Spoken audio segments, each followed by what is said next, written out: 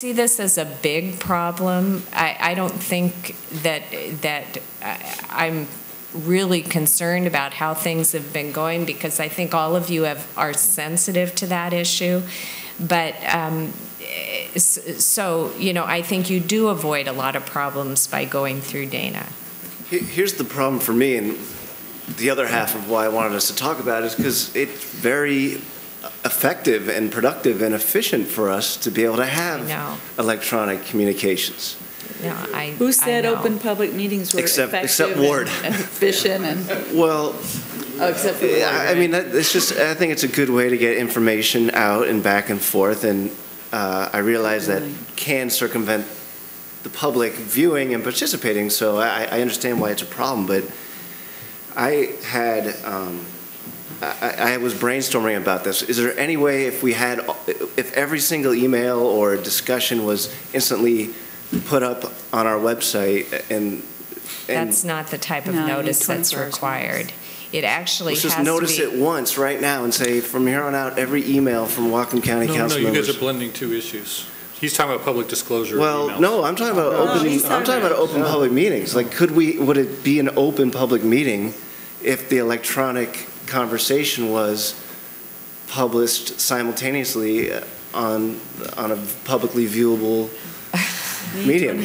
That's something that I think I'd like to think about. I don't think that the law has necessarily caught up with that idea because right now, the Open Public Meetings Act requires that if you are going to have, um, I, I mean, it anticipates, it still anticipates like regular meetings. It doesn't really anticipate meetings by email or phone. And you have to either have a regular schedule that you publish of, of meetings like we do at our yearly meetings, or if you have a special meeting, you have to send out a 24-hour notice to the press. So I don't know how that would jive with doing what you're proposing.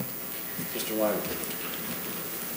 I just want to make sure I've got it straight about the open public meetings. That applies not only to a quorum of the council, but to a quorum of a committee That's- too, That's doesn't it? That's correct. So it's actually would be illegal for me, since we're both on the finance Right. committee, to send an email to Ken saying, what do you think about Dewey's Right. idea about parking? Right, yeah, I- that's, I'm glad you brought that up, that's absolutely. Or to call them on the If it phone. pertains, right, if it pertains to your committee's subject matter, that's absolutely right. Well, part of the pr- problem we have with email then is sometimes someone, Barbara does this a lot, because she copies everybody on the council. So she's having a discussion with Gladys Smith in Birch Bay about Lincoln Road, and she tells Gladys what she thinks and copies everybody else, and then Gladys wants to know what I know.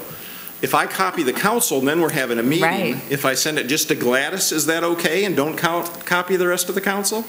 Because sometimes she precludes me by talking to constituents. I don't think there's a clear answer to that. Yeah, I'm, eh, eh, I think Ward's got the best Ward's got solution the of all. solution. Go ahead. Ignore only. get rid of the council, get rid of email entirely. it. Uh, No, we don't I didn't it. hear that. Yeah, we don't delete it. Wait a minute. Ms. Brenner? Um, I, what I do is I will copy, I always copy staff and I copy council members. If I'm talking about something that's council, but I'm, and I, I usually it's because I'm prefacing by saying, I'm only one council member, or something like that. Or if it's information, I, I just, it, to me, it's just saying something to people. I'm not expecting anything back. Right, but even when you don't expect something back, it can generate a discussion, and that's, you kind of inadvertently create an open public meeting. I'm So are not we- getting So are you into- better off not copying each other when we're talking with constituents? Yeah, I think that's, yeah, I think that's probably true. But you copy the oh. council, right? Goes- No, No, I guess we can't I do talked to that a either. constituent. Well, okay.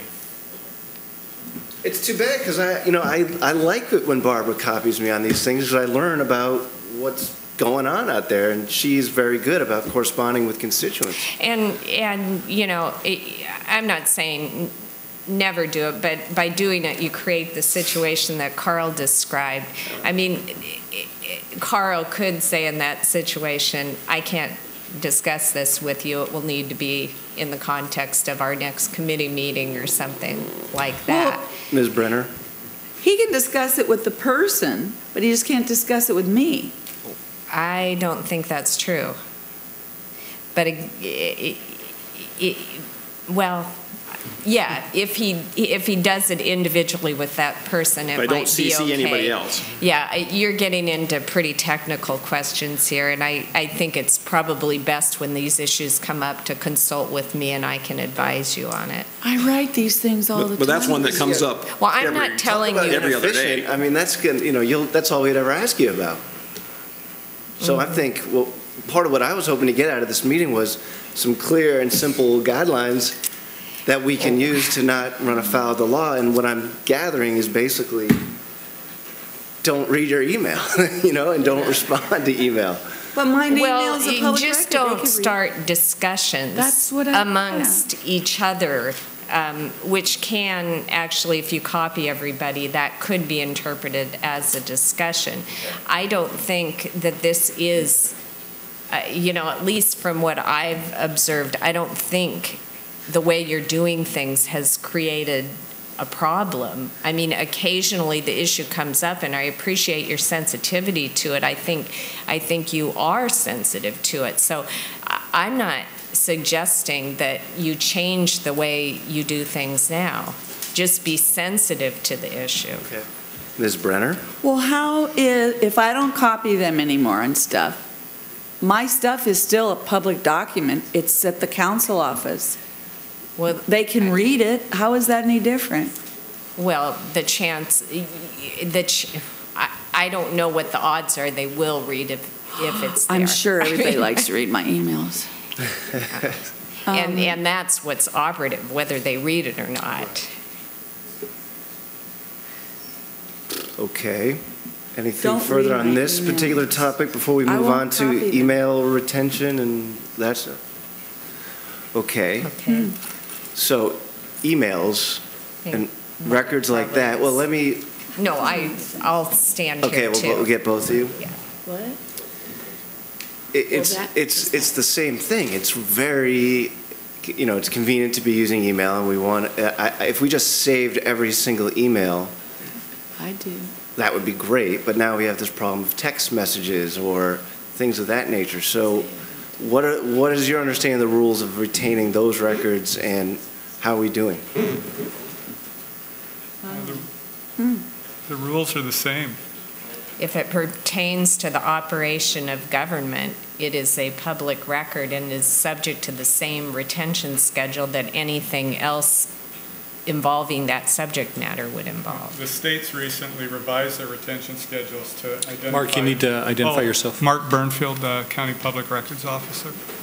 Pull that mic up just a little bit. The, uh, the retention schedules have been changed recently to reflect um, a category now called communications.